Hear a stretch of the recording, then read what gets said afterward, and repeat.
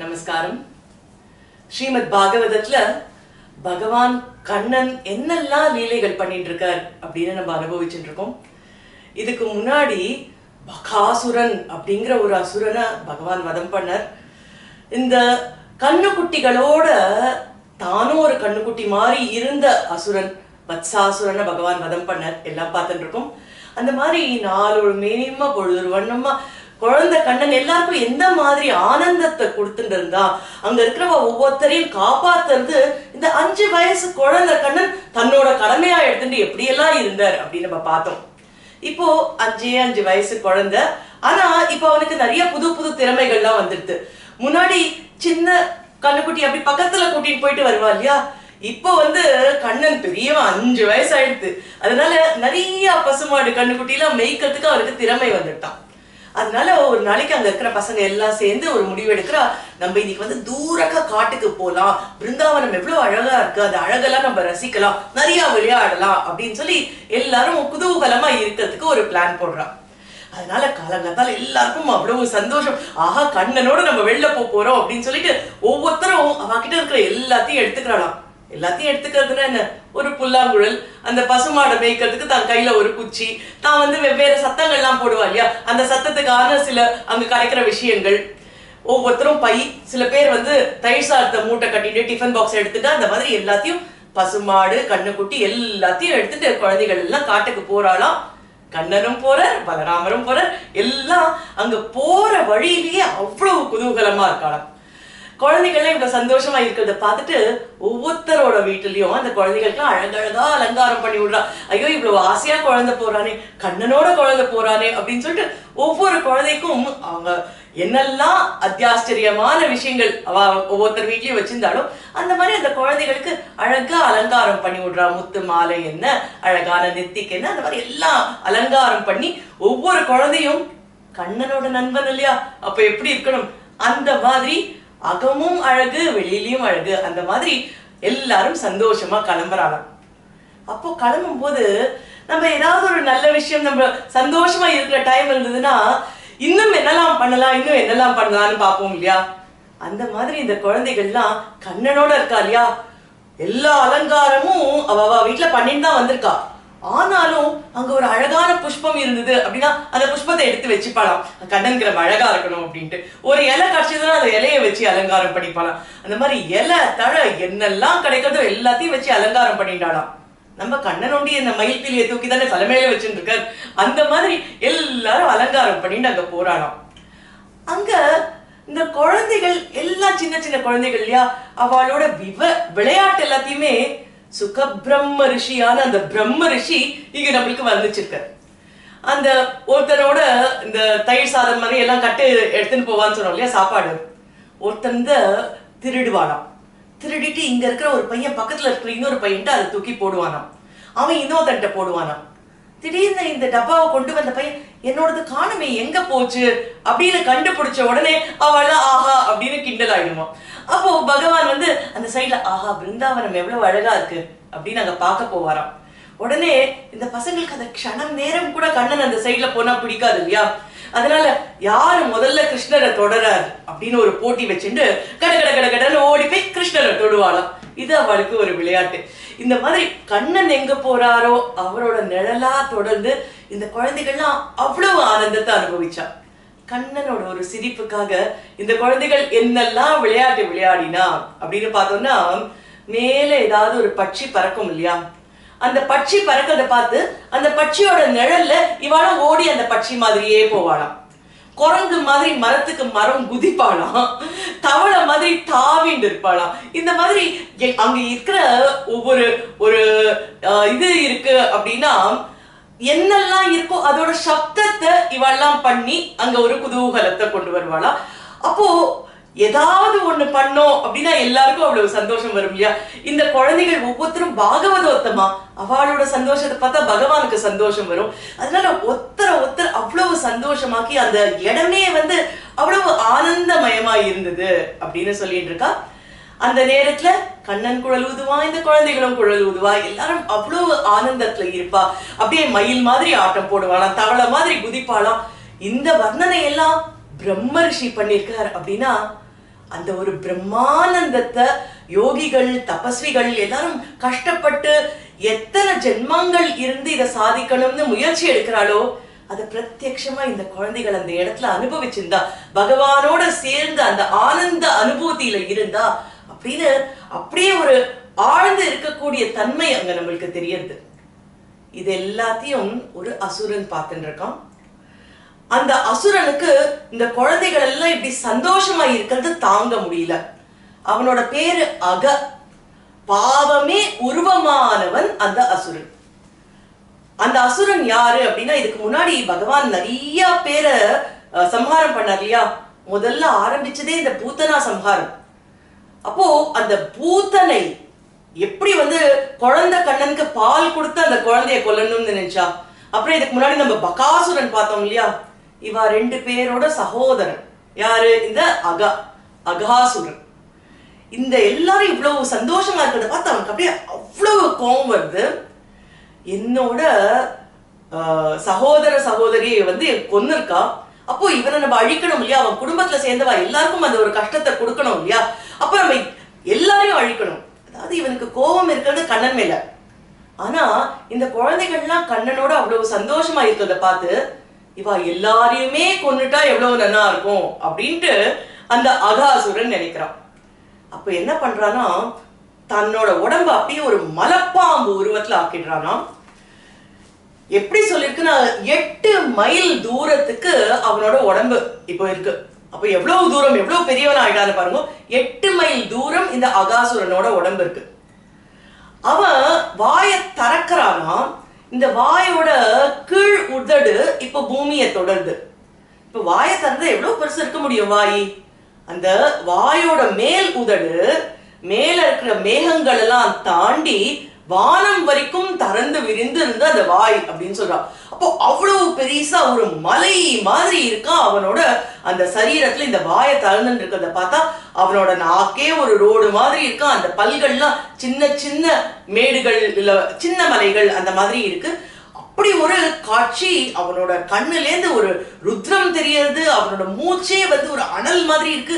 அப்படின்னு எல்லாம் வந்து எப்பேற்பட்ட ஒரு பயங்கரமான ஸ்வரூபம் அது அப்படின்னு அங்க சொல்லப்பட்டிருக்கு. இந்த குழந்தைகள்லாம் இப்பதானே பிருந்தாவனத்துக்கு போயிருக்கா? அப்போ அங்க எல்லாத்தையும் சுத்தி பார்க்கறதுல இவளுக்கு அவ்வளவு ஒரு ஆனந்தம் இந்த மாதிரி கண்ணனோட விளையாடிட்டு இருக்கா? கண்ணன் அப்பப்போ வந்து எவ்வளவு அழகா இருக்கீங்க அப்படின்னு ஒவ்வொருத்தனையும் பார்த்துட்டு இருக்கா? அப்போ இந்த குழந்தைகள்லாம் கண்ணுக்குட்டி எல்லாம் மேய்ச்சிட்டு வெவ்வேறு இடத்துல போயிட்டு இருக்கா இல்லையா?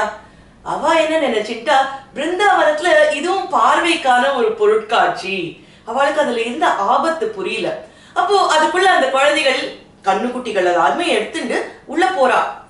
அப்போ ஒரு பையன் கேட்கறான் ஏய் இது நிஜமாவே உயிர் இருக்கிறதா உயிர் இல்லாததா? அப்படின்ட்டு. அதுக்கு இன்னொரு பையன் பதில் சொல்றான் என்னவா இருந்தா நமக்கு என்னடா? நம்ம போய் பார்க்கலாம். ஏதாவது ஆபத்து இவன் நம்மளுக்கு கொடுக்கணும்னா நமக்கு தான் கண்ணன் இருக்கானே. பகாசுரனை கொன்ன மாதிரி இவனையும் கொண்டுட்டு போறான். அப்படின்னு அவ்வளவு விசுவாசத்தோட பேசிட்டு ஆனா இந்த அரக்கனோட சூழ்ச்சி தெரியாம அந்த குழந்தைகள் கண்ணுக்குட்டியோட சேர்ந்து உள்ள போறாளாம். பகவான் இதை தடுக்கணும்னு நினைக்கிறான் ஆனா அதுக்குள்ளேயே இவெல்லாம் உள்ள போயிடுறான் இப்போ குழந்தை கண்ணன் அஞ்சு வயசு குழந்தை இல்லையா அவன்? அவன் நினைச்சு பாக்குறானா நம்ம இப்போ எத்தனை குழந்தைகள் அந்த அத்தனை குழந்தைகளையும் காப்பாத்தி ஆனும் இப்போ கண்ணனை நம்பி இந்த கண்ணுக்குட்டிகள்லாம் ஆயிரக்கணக்கான கண்ணுக்குட்டிகள். அந்த அத்தனை கண்ணுக்குட்டிகளும் இங்க உள்ள போயிருக்கு. அவ்வளவு பேரையும் காப்பாத்தணும். ஆனா இந்த அசுரனை சம்ஹாரம் பண்ணணும் இல்லையா? ஏன்னா அவன் இவ்வளவு பேருக்கு இப்ப தீமை நினைச்சிருக்கான். அப்போ ரெண்டுத்தையுமே நம்ம பண்ணணும் அப்படின்ட்டு இந்த குழந்தை கண்ணன் நினைக்கிறான். அப்போ தானும் அந்த அரக்கனோட வாய்க்குள்ள போறானாம். மேல அப்படியே தேவர்கள் எல்லாரும் அங்கிருந்து பாக்குறா ஐயோ கண்ணா அரக்கனோட வாய்ப்புள்ள நீ போறியா வாய்ப்புள்ள நீ போறியா? அப்படின்ட்டு எல்லாம் அப்படியே என்ன நடக்க போறது அப்படின்னு அங்க பார்த்துட்டு இருக்கா. குழந்தை கண்ணன் உள்ள போறான் எல்லாரும் கண்ணை முடிக்கிறா. அச்சோ குழந்தையும் உள்ள போறானே. இந்த இருக்கிற கோப்பர்களை பிரிஞ்சு இருக்க முடியலையா கண்ணனுக்கு? அவதார பூர்த்தியே வந்துட போதா அப்படின்னு பயப்படுற அளவுக்கு இருந்தது அந்த நேரத்துல? பகவான் உள்ள போற குழந்தைகளை காப்பாத்தணும் அரக்கனை சம்ஹாரம் பண்ணணும்னு அந்த தொண்டையில இவன் முழுங்கிறதுக்காக காத்துன்னு இருக்கா இவன் வாயை மூடல இந்த அசுரன். ஏன்னா பலராம கண்ணனையும் சேர்ந்த அப்புறம் நம்ம வாயை மூடிக்கலாம். எல்லாரையும் அப்படியே ஒரே அடியா வந்து நம்ம சம்ஹாரம் பண்ணணும்னு அந்த அரக்கன் நினைச்சிருக்கான். இப்ப பகவான் உள்ள போற தொண்டையில போகும்போது அவன் வாயை மூடணும்னு நினைக்கிறானோ இல்லையோ பகவான் வளர ஆரம்பிக்கிறார். வளர்றார் வளர்றார் வளர்றார். அப்படியே அவனுக்கு அந்த தொண்டையில அடைக்கிறதா என்ன பண்ணணும்னு தெரியல. கண்ணு பிதுங்கிறது அவனால மூச்சு விட முடியல. பகவான் அந்த தொண்டையில் அப்படியே வளர்கிறார் வளர்ந்துட்டு போறார். இவனே எவ்வளவு பெருசு. அவனோட ஒரு இதழ் வந்து கீழே இருக்கு அவனோட அஹ், வாய் மேல இருக்கு. அவ்வளவு பெருசுனா பகவான் அதோட பெருசா வளர்ற இவனுக்கு அந்த மூச்சு விட முடியாம இவனோட பிராணன் இவனை தாண்டி வெளில போச்சாம். ஆனா வாய் திறந்த மாதிரியே இருக்கு. பகவான் எல்லா குழந்தைகளையும் பசுமாடு கண்ணுக்குட்டி எல்லாரையும் வெளியேற்றுறார். அப்போ இந்த அசுரனோட உடம்புல இருந்து ஒரு பிரகாசம் அப்படியே ஜுவலிக்கிற ஒரு பிரகாசம் வெளியில போய் காத்துன்னு இருக்கான் இந்த கண்ணு குட்டி எல்லாம் வெளியில வந்ததுக்கு அப்புறம் அந்த ஒரு வெளிச்சம் சத்கதியை அடைஞ்சது அப்படின்னு சொல்றா. இப்போ பகவான் இங்க வெளியில வந்த உடனே இந்த எல்லாரையும் காப்பாத்தின உடனே அங்க தேவர்கள்லாம் என்ன நடந்ததுங்கிற பயத்துல பீதியில இருந்தா இல்லையா? அவளெல்லாம் அப்படியே அப்படியே கானங்கள் பாடுறா. அங்கேருந்து விருஷ்டி மழை பொழியது ஜெயோ ஜெயஹா ஜெயோ ஜெயஹா ஜெயோ ஜெயஹா அப்படின்னு சொல்றா. இந்த சப்தத்தெல்லாம் கேட்டு சத்தர்முக பிரம்மா வந்து ஆஹா கண்ணா எப்பேற்பட்ட ஆச்சரியம் இது அப்படின்ட்டு அவர் அப்படியே ஒரு ஸ்துதி பண்ற எல்லாரும் கிருஷ்ணனுக்கு வாழ்க வாழ்க வாழ்க அப்படின்ட்டு ஜெய ஜெய ஜெய அப்படின்னு சொல்றா. அப்போ இந்த குழந்தைகள்லாம் இதெல்லாம் பார்த்து அவ்வளவு சந்தோஷப்படணும் கண்ணன் நம்மளை எப்படி காப்பாத்திருக்கான் பாரு அப்படின்னு அந்த இடமே அவ்வளவு சந்தோஷமா குதூகலமா இருந்தது. இந்த சரித்திரத்துல இருந்து நமக்கு முக்கியமான சில தத்துவங்கள் புரியும். பகவான் இங்க அவதாரம் பண்றார்.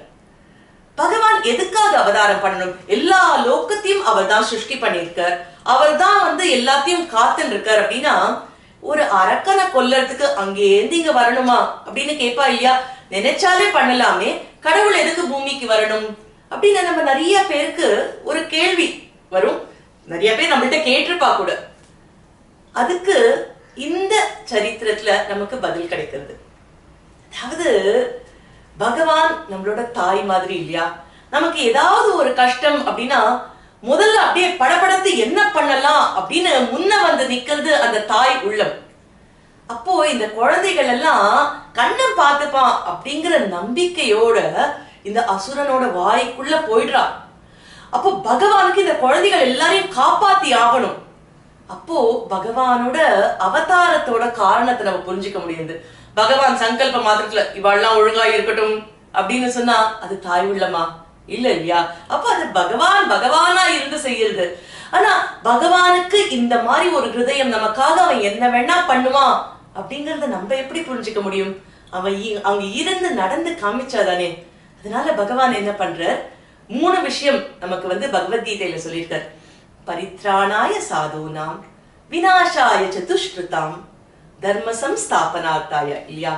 அப்போ சாதுக்களை ரட்சிக்கிறதுக்கு தீமை செய்பவர்களை அழிக்கிறதுக்கு தர்மத்தை நிலைநாட்டுறதுக்கு.